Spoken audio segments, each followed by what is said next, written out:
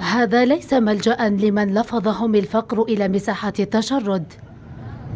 هذه ساحة مستشفى الشفاء أكبر مجمع طبي بقطاع غزة مكتظة بنازحين تقطعت بهم السبل فلا ملجأ آمن لهم سوى محيط هذا المستشفى الذي احتضن النازحين حتى غدوا يزاحمون المصابين والشهداء في ساحة لو نطقت لروت قصصا مروعة من الوجع الذي رسمه القصف الصهيوني الوحشي في القطاع.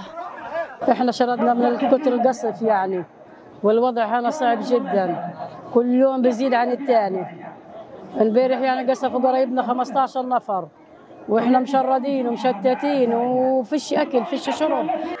مع ذلك الملاذ الأخير هذا لم يعد آمنا بعدما تحولت المستشفيات إلى بنك أهداف للاحتلال. في غزة لا مكان بات آمنا من الموت سوى الموت. من يوم أول يوم الحرب. شردنا من بيتنا لما صار المناورات ورحنا على جباليا معسكر جباليا قعدنا في معسكر جباليا أربع خمس أيام.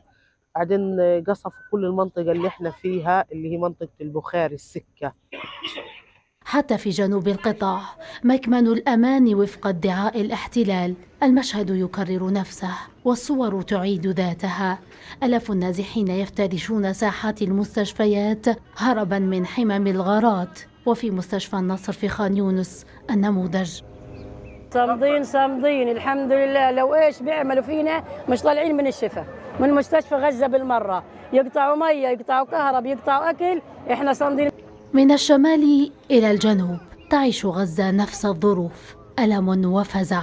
ومن أخطأه القصف لحقه الموت جوعا. رغم ذلك يتشبث الفلسطينيون بالبقاء في مأواهم الأخير فكل دعوة للمغادرة هي نكبة جديدة.